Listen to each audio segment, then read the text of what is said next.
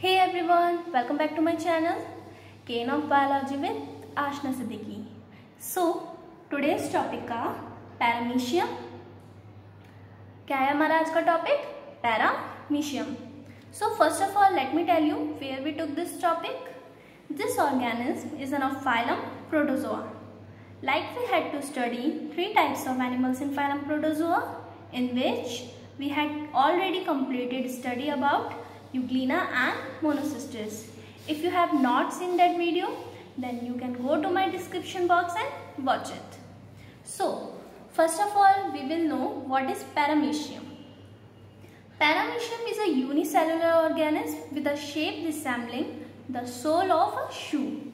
Paramecium जो है single cell organism है जिसका शेप किसकी तरह है शूज़ के सोल की तरह it's range from 50 to 300 mu micron in size इनका रेंज क्या है? 50 से लेके 300 तक म्यू माइक्रॉन तक। As well it's belong to the phylum ciliophora कहाँ से बिलोंग करते हैं phylum ciliophora it's whole body is covered with the small hair like filaments called the cilia इनकी जो कंप्लीट बॉडी होती है, वो किससे कवर्ड रहती है?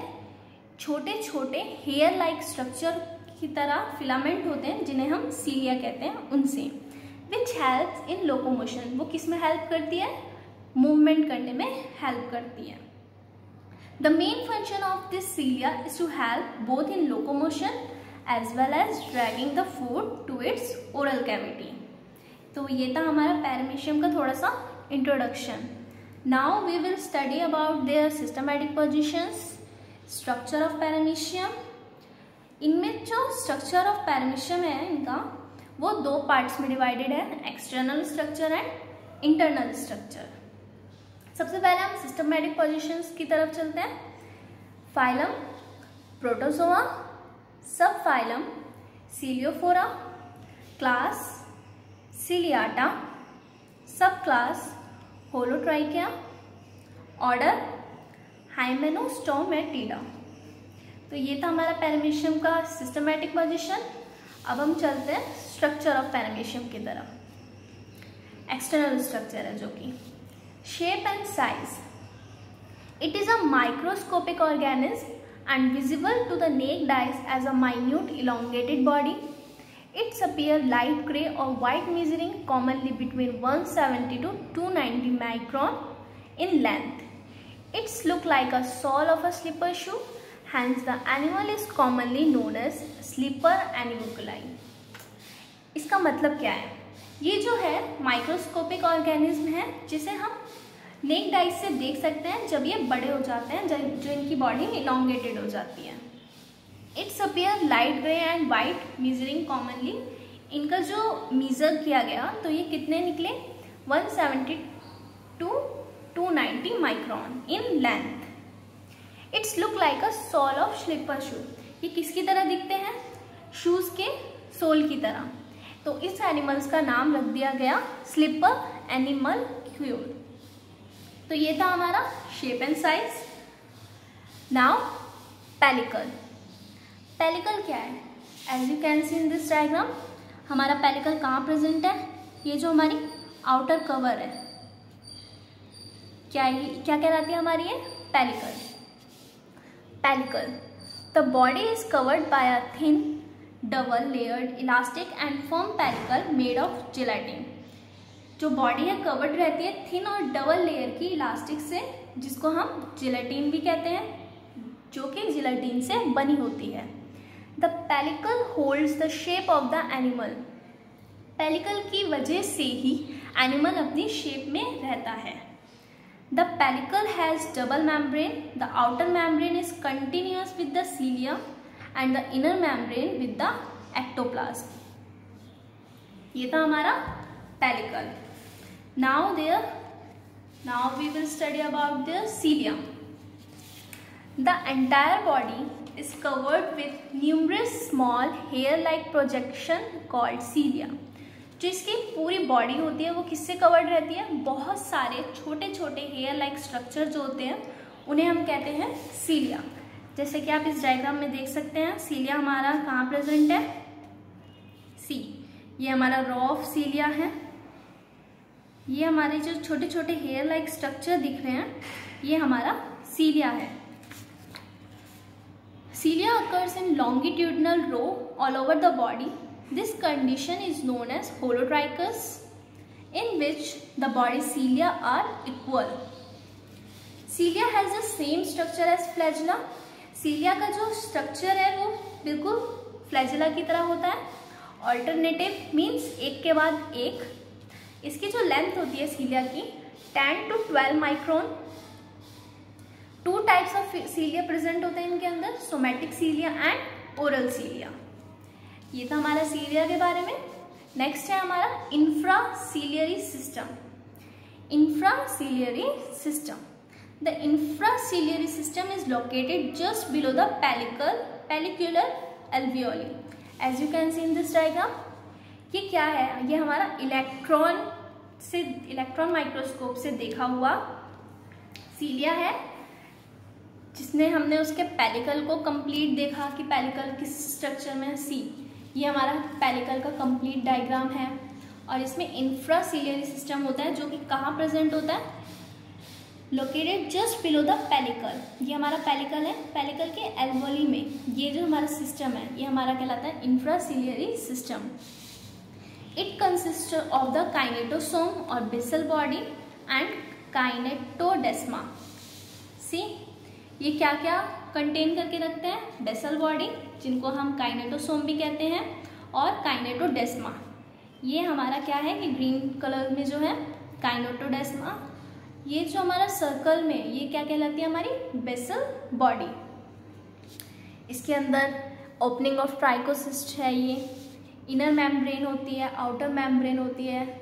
जो बाहर की है, उसे हम आउटर मेम्ब्रेन कहते हैं, जो अंदर की है, उन्हें हम इनर मेम्ब्रेन कहते हैं। ये हमारा पूरा पेलिकल का स्ट्रक्चर है और ये हमारे सीलिया है। From each kinetosome arises a delicate cytoplasmic fibrils called kinetodesma क्या कहलाते हैं हमारे? Kinetodesma now oral groove of oral groove and cytopharynx On the ventrolateral side is a large oblique shallow depression called oral groove. As you can see in this diagram, कहाँ है हमारा oral groove present? See यहाँ उसी के below नीचे vestibule present होता है buccal cavity and then cytostome जो कि फ़ूड वैक्यूल में चेंज हो जाते हैं और जो हमारा एक्स्ट्रा फ़ूड मटेरियल है वो साइटोफिक की हेल्प से बाहर निकल जाता है देखते हैं क्या है आगे which gives the animal and asymmetrical appearance जो हमारे एसिमेट्रिकल मीन्स जिसको अगर हम बीच से कट करें तो दोनों पार्ट सेम नहीं होते। The oral grooves leads into a short conical funnel shape किस शेप का होता है ये? फनल शेप का। डिप्रेशन कॉल्ड वेस्टिब्यूल सी ये हमारा क्या कहलाता है? फनल शेप बन रहा है और क्या कहलाता है? Vestibule the cytopyge also term cell anus और एनल स्पोर्ट इन्हें हम क्या कहते हैं? सेल एनस भी कहते हैं और एनल स्पॉट भी कहते हैं और साइटोप्रोक्ट भी कहते हैं lies on the ventral surface of the body almost vertically behind the cytostome or mouth. Undigested food particles are eliminated through the cytophage. जितना भी अनडाइजेस्टेड फ़ूड पार्टिकल्स होता है, वो साइटोफिक की हेल्प से बाहर निकल जाता है क्या करता है साइटोफिक की हेल्प से बाहर निकल जाता है तो ये था हमारा पैरामीशियम का एक्सटर्नल स्ट्रक्चर जिसमें हमने क्या क्या पढ़ा shape and size pellicle cilia infraciliary system and oral groove of and cytophaga. Now, its internal structure. Internal structure में हमारा क्या क्या आता है cytoplasm trichocyst nuclei contractile vacuole and last वाला फ़ूड वैक्यूल तो सबसे पहले हम देखते हैं साइटोप्लाज्म क्या होता है। The cytoplasm is differentiated into a narrow external और cortical zone called region called the endoplasm sorry called the ectoplasm and a larger internal and medullary region called the endoplasm means जो cytoplasm है, वो दो part में divided है कौन कौन से में? एक्टोप्लाज्म में और एंडोप्लाज्म में। इन दोनों को डिफ्रेंशिएट इसलिए किया गया है जिससे कि ये अच्छे से कंप्लीट समझ में आ सकें। Ectoplasm it is a permanent part of the body ectoplasm forms a firm clear thin and dense outer layer it contains the trichocyst cilia and fibrillar structure and bounding externally by covering called pellicle ectoplasm क्या होता है? बाहर की जो layer होती है pellicle ये यहाँ प्रेजेंट होता है। जिसके अंदर, जिसके बाहर क्या क्या आते हैं? ट्राइकोसिस सीलिया फिब्रिलर स्ट्रक्चर जो कि बाउंड करती है इसी के बाहर। यह था हमारा ectoplasm now endoplasm the endoplasm is the more fluid of the cytoplasm which contain many cytoplasmic granules क्या करते हैं एंडोप्लाज्म बहुत सारे साइटोप्लाज्मिक ग्रेन्यूल्स को कंटेन करते हैं। Cytoplasmic granules means mitochondria, Golgi apparatus or and etc. Other structure are also found in. बहुत सारे स्ट्रक्चर भी एंडोप्लाज्म के अंदर प्रेजेंट होते हैं। तो ये था हमारा साइटोप्लाज्म जिसके अंदर हमने पढ़ा एक्टोप्लाज्म एंड एंडोप्लाज्म नेक्स्ट है हमारा trichocyst it is spindle oval bag like structure alternative of cilia alternative means एक के बाद एक। As you can see in this diagram ये जो हमारा पार्ट है, ये सीलिया के अंदर, ये ये हमारा क्या कहलाता है? ट्राइकोसिस्ट ये सीलिया के, जैसे सीलिया के जैसे होता है, एक के बाद एक, इनकी लेंथ जो होती है three two to four micron next है हमारा न्यूक्लियाई ये हमारा बहुत इंपॉर्टेंट टॉपिक है, क्योंकि जब हम कॉन्जुकेशन करेंगे तो उसमें ये न्यूक्लियस का हमारे पास बहुत ज़्यादा ही हेल्प होगी माइक्रो एंड मैक्रो न्यूक्लियस में। In the endoplasm near the cytostome two nuclei paramecium is heterokaryotic paramecium is heterokaryotic क्यों कह रहे हैं? क्योंकि इसमें दो टाइप के न्यूक्लियस प्रेजेंट होते हैं macro nucleus and micro nucleus macro nucleus is a conspicuous ellipsoidal और किडनी शेप बॉडी इसका शेप किसकी तरह होता है? किडनी शेप की तरह। See micronucleus and micro micronucleus micronucleus का क्या बताया? किडनी शेप्ड होती है इसकी और ये सोमैटिक और वेजिटेटिव न्यूक्लियस है। इट डज अंडर वो माइटोसिस ये माइटोसिस करते हैं।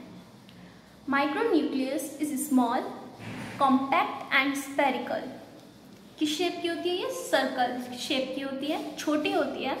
It is generally found close to the micronucleus often in a con cavity ये किसके पास होती है?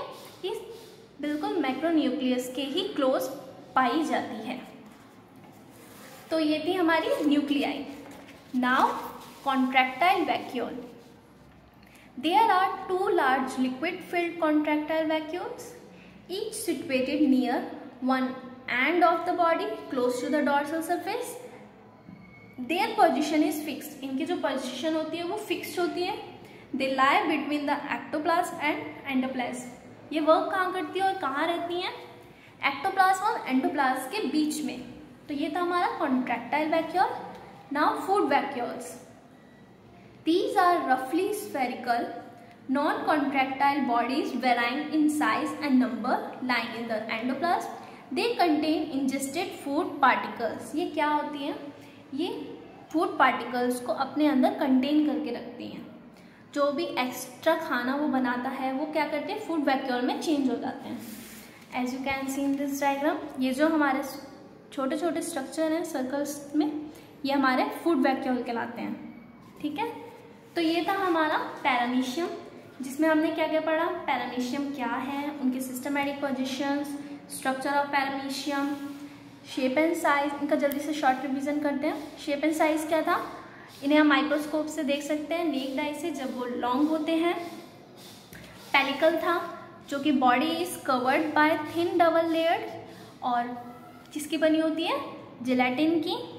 The pellicle hold the shape of the animal जिसकी वजह से एनिमल अपने शेप में रहता है। It continues with cilia and inner membrane इनमें दो मेम्ब्रेन पाई गई थी inner membrane and outer membrane फिर हमने देखा था सीलिया प्रेजेंट होता है इसके अंदर, जो कि पूरी बॉडी को कवर्ड करके रखता है। बहुत सारी संख्या में पाया जाता है।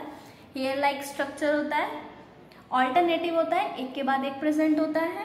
और उसकी लेंथ कितनी होती है? टेन टू ट्वेल्व माइक्रोन और सोमेट दो टाइप के सीलिया पाए जाते हैं इनमें somatic cilia and oral cilia.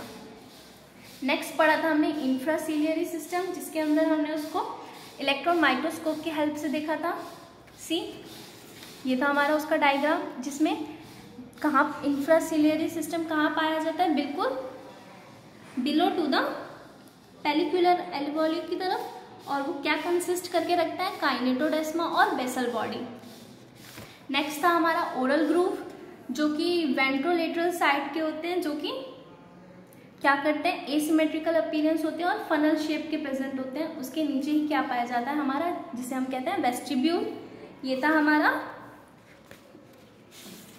अब नेक्स्ट था हमारा oral groove and cytopharynx cytopharynx क्या था? जो कि एक्स्ट्रा मटेरियल को, जो अनडाइजेस्टेड फ़ूड पार्टिकल्स होते हैं, उन्हें बाहर निकालने में हेल्प कर रहा था। ये सब था हमारा एक्सटर्नल स्ट्रक्चर इंटरनल स्ट्रक्चर में हमने क्या पढ़ा था? साइटोप्लाज्म जो कि दो टाइप से थे एक्टोप्लाज्म एंड एंडोप्लाज्म ट्राइकोसिस्ट के बारे में पढ़ा था, जो कि spindle oval bag like structure थे ऑल्टरनेटिव थे सीलिया के अंदर। जो ये हैं हमारे, ये क्या है हमारे? ट्राइकोसिस्ट और इनकी लेंथ कितनी थी? Two to four micron.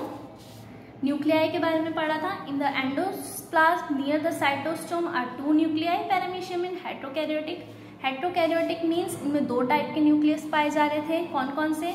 Macronucleus and micronucleus macro nucleus क्या कहलाते हैं? या कैसे होते हैं? किडनी शेप्ड बॉडी होती है। और इनके अंदर माइटोसिस होता है। माइक्रोन्यूक्लियस क्या थे? स्मॉल थे। स्पेरिकल शेप के थे। वो कहाँ पाए जाते हैं? बिल्कुल मैक्रोन्यूक्लियस के क्लोज पास में पाए जाते थे। नेक्स्ट देखा था हमने कॉन्ट्रैक्टाइल वैक्यूल जो कि किसके बीच में होता था? एक्टोप्लाज्म एंड एंडोप्लाज्म लास्ट देखा था हमने फ़ूड वैक्यूल वो क्या कर रहा था? इंजेस्टेड फ़ूड पार्टिकल्स को कंटेन कर रहा था। तो ये था हमारा पैरामीशियम आई होप आप लोगों को समझ आ गया हो। Thanks for watching my video If you like my video, please like, share and comment. And yes, don't forget to subscribe my channel, Cane of Biology with Ashna Siddiqui. Thank you.